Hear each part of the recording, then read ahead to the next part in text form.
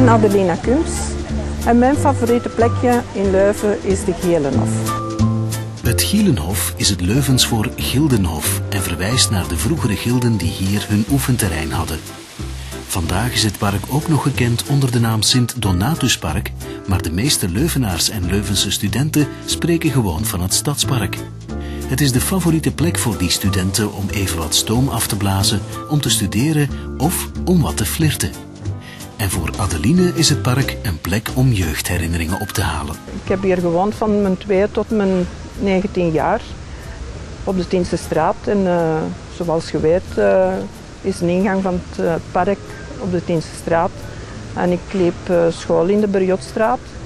En daarmee kwamen wij dus regelmatig met de kinderen spelen. En ja, in de herfst kastanjes en beukennootjes en, en, bladeren voor school dan dikwijls. En, ja, uh, het was hier echt uh, aangenaam. Thuis hadden we geen tuin en daarmee, dit was dus onze tuin.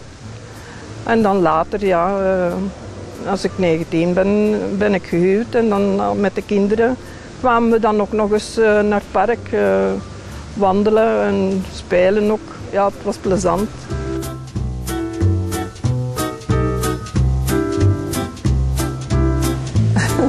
Ik heb hier uh, ook mijn eerste liefje leren kennen. En uh, achter de kiosk gingen we ons eerste kusje wisselen. Ja, dat is nog altijd zo.